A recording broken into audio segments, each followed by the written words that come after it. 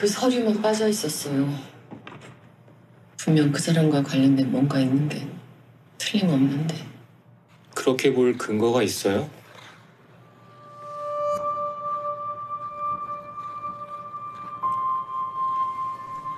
실은 그 사람 살아 있었어요. 내 두 눈으로 그 사람 직접 봤고요. 그게 정말입니까? 도진설도 나연이도 전부 그 사람 소행인 것 같아요. 근데 그걸 증명할 방법이 없네요.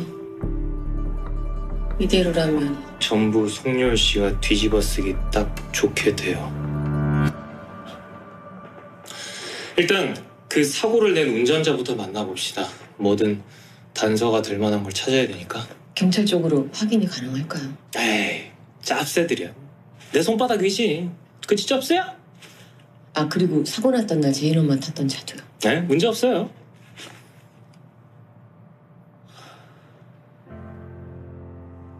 아 그리고 그 하나 틀린 거 있어요. 네? 그날 전화로 했던 얘기. 뭐 송리호 씨 주변 사람은 다 죽거나 다쳤다는 말. 적어도 멀쩡한 놈 하나 여기 있잖아요. 어우, 난 요즘 막 더 건강해지는 것 같아. 그러네요. 자, 야, 그만 너 빼고 있고 그 뭐라도 하나 건지려면 정신 바짝 차리고 파이팅입니다. 자, 그런 의미에서 한번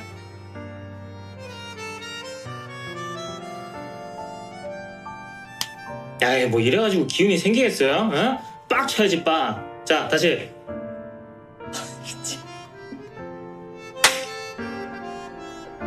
그래, 이래야 기운이 생기지. 힘 세네.